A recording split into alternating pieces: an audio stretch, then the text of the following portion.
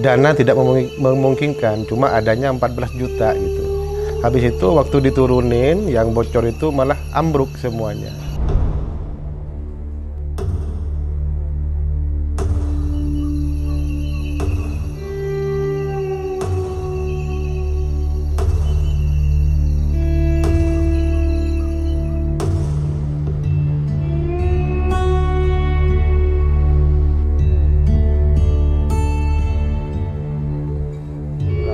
Warahmatullahi wabarakatuh.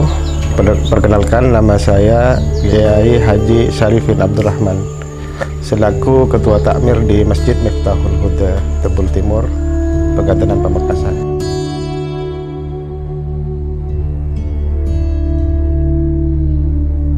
Uh, awal mula masjid di sini berdirinya kira-kira tahun 72 dari almarhum kakek saya terus ke bapak saya sekarang sampai ke saya.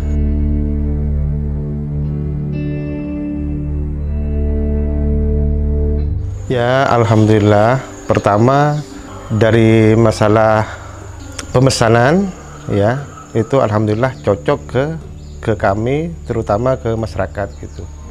Tentang tentang kubah itu sendiri.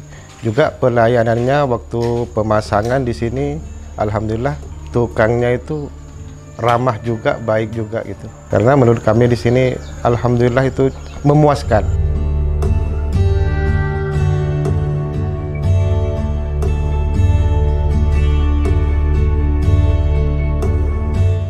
Dari awal itu kan masjidnya udah mau ini mau udah udah bocor.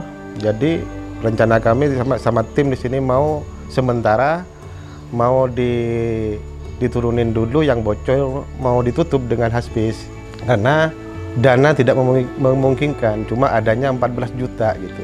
Habis itu waktu diturunin yang bocor itu malah ambruk semuanya. E, sampai terjadinya masjid seperti ini ya menghabiskan dana eh, 230 juta.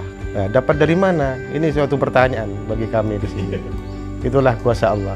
Alhamdulillah walaupun dananya awalnya 14 juta alhamdulillah udah udah hampir selesai ini